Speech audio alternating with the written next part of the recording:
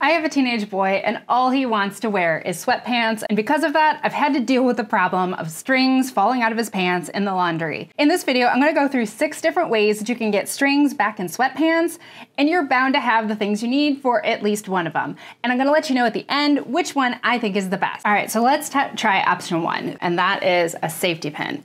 So you're just gonna put the safety pin through the end of the string and kind of shove it through the hole with the string. Problem with the safety pin method is it takes a long time to kind of pull that string around. Then when you get to the end, just poke that safety pin through the hole and pull the string out. That's the most common method, but I honestly think it's one of the worst. If you don't have a safety pin, a bobby pin can work in basically the same way.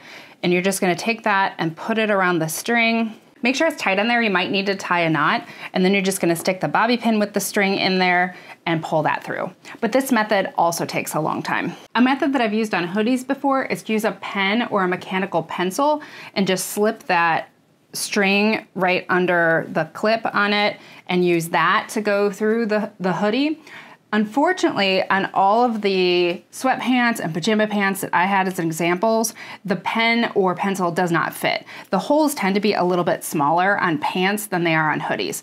But if you're working on a hoodie, a pe mechanical pencil or a pen can work sometimes. Next up is a method I really like, and that's to use a chopstick. This can also work with strong coffee stirrers, anything that's a long stick. So first you have to attach that string to the chopstick in some way you can use either tape or a stapler. If there's an aglet on the end of the string, don't staple through that. Try to staple through the soft cloth of the string. You're just gonna line that up and jam the staple in there. And you see that'll hold it really tight. Then just put that into the pants. And you can see once this method gets going, it's really fast and then just bring that out the other side. And then just be careful pulling that staple out. Try not to rip your string.